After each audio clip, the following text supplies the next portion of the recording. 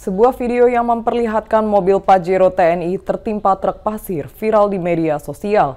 Dalam video berdurasi 16 detik itu tampak mobil Pajero TNI dengan lampu rotator bermaksud putar balik dan masuk jalur kanan.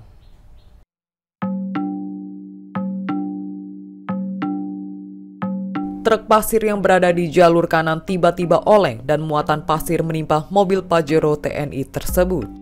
Beberapa netizen menduga truk tersebut oleng karena mobil Pajero tiba-tiba memotong jalur dan sopir truk kaget dengan bunyi sirene yang terpasang di mobil Pajero.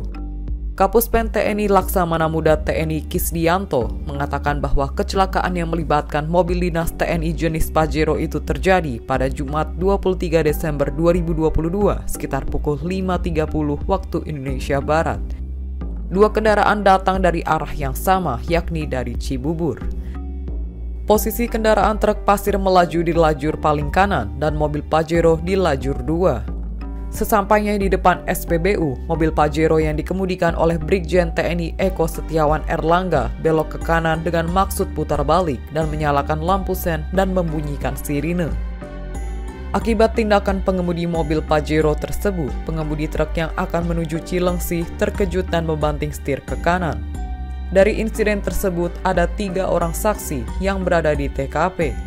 Mereka langsung melakukan pertolongan dari pintu mobil Pajero kiri depan yang kebetulan sudah terbuka dan mengeluarkan istri Brigjen TNI Eko Setiawan Erlangga. Kemudian mereka menolong Brigjen TNI Eko Setiawan Erlangga. Kisdianto menambahkan sekitar pukul 9.30 waktu Indonesia Barat dilakukan penarikan dua kendaraan tersebut.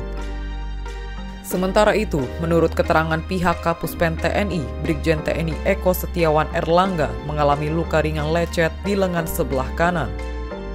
Adapun kerugian dari insiden laka lantas itu, yakni mobil Mitsubishi Pajero TNI nomor 569110 mengalami rusak berat.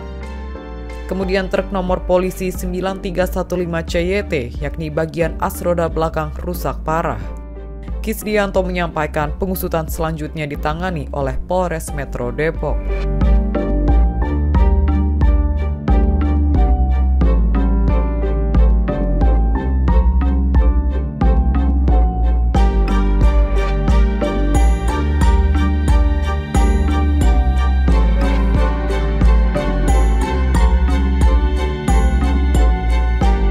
Demikian informasi dari Tribun Jateng Update. Saksikan terus Tribun Jateng Update hanya di channel YouTube Tribun Jateng. Ikuti update terbaru dari sosial media Tribun Jateng.